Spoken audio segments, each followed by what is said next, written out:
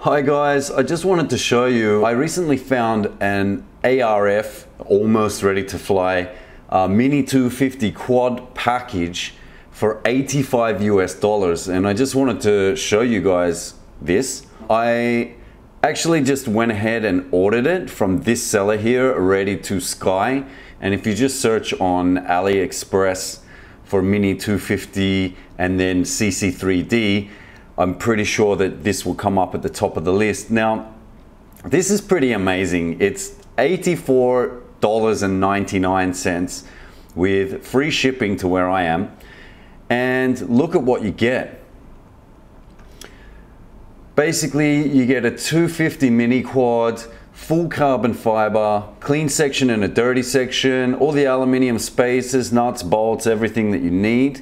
Then you get a CC3D flight controller, four motors. I'm not sure on the quality of these, but you know, I wouldn't expect amazing stuff for 85 bucks, but still it's enough to get you in the air. The specs on the motors are 1804 2400 kV. And then also you get four of these Hobby Sky 20 amp ESCs with a built-in 2 amp BEC and you get two full sets, eight pieces of 50-30 props and some LED decoration boards. So here's the ESCs, here's the frame. It looks like one of those standard China ZMR 250s, although I'm pretty sure there's a few factories pumping these out now and the quality can vary.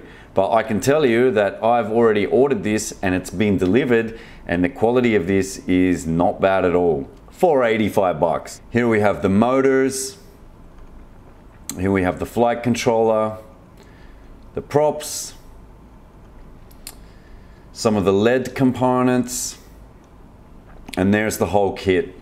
And you can see here they'll deliver all around the world. And actually the delivery time for me, they delivered it from China to Dubai in six days, which is absolutely amazing. And you can see it's 95% good feedback five star feedback out of 25 votes and 51 orders. So, uh, you know, there's a couple of people who've given it one star, but uh, you always get that. But if you just generally have a look, the reviews are very good, and my review is quite good.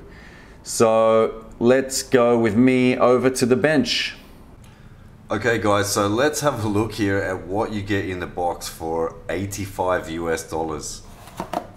But this is the first time I've seen it as well. So we're seeing this together. So it looks like we've got uh, a couple of green props, a couple of black props, two full sets of props in total.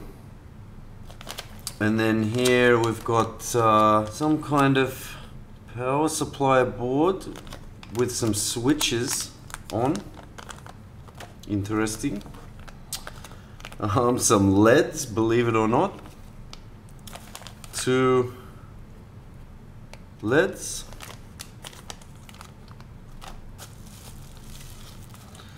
Some motors. What do we got here? I'm sure the quality is not going to be amazing. It's a ZMR 1804 2400 kV motor four of those in the package. And then we've got a, uh, a battery XT connector and some nylon nuts and screws. Then we have a uh, Hobby Sky ESC with SimonK 20 amp with a 2 amp BEC on board. We have four of those. Next we have a CC3D flight controller with uh, all the cables. they even threw in some uh, some cable ties and so I can see some bits of heat shrink there. Yep, two bits of heat shrink. That was nice of them. And then uh, we have the frame. Now let's just push this out of the way and have a look at the frame. So I wouldn't say the quality of the carbon is that bad, like the cuts all look quite clean. be interesting to see if it actually is carbon. There is one way we can test. We can actually test uh,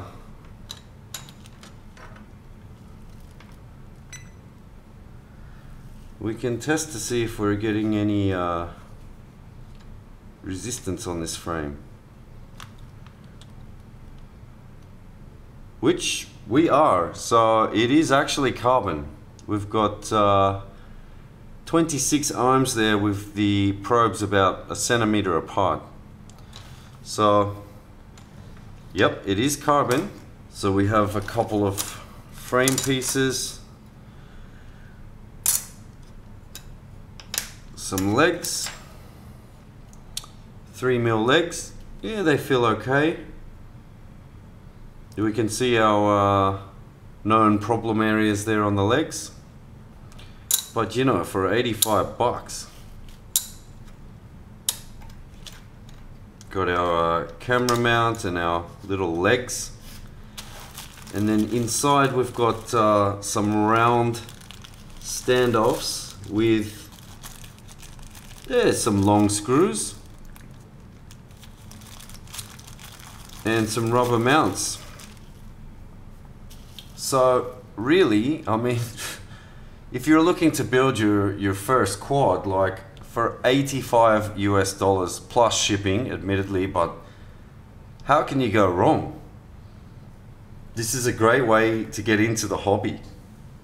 Great way to learn how to build, great way to get into the hobby. The only thing that I don't like about this is that, you know, basically the factory that's pumping these out, all of these parts here, are just copying somebody else's design and your money is not really going towards pushing the hobby any further. These guys are not doing any research and development. They're just copying designs and pumping it out as cheaply as possible. I think if you can afford it and if you're seriously into the hobby, that you shouldn't be buying copied frames and that you should be buying from the guys that are innovating and coming up with new designs and building quality gear because um, that's where all these designs come from. And if those guys don't make any money, then uh, who is going to be designing the next generation of gear that we're going to be using?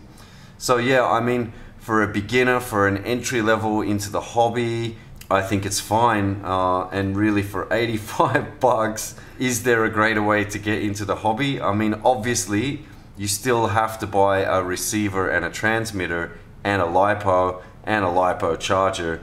But apart from that, you've got everything you need. So I think I'm going to go ahead and actually do a series and, and build this one on camera. And I'm going to learn and hopefully you guys can learn with me.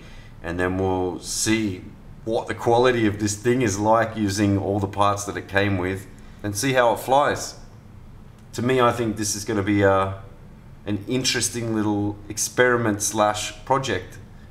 Okay, guys, so stay tuned, subscribe, and uh, expect to see more on this one. Cheers, bye.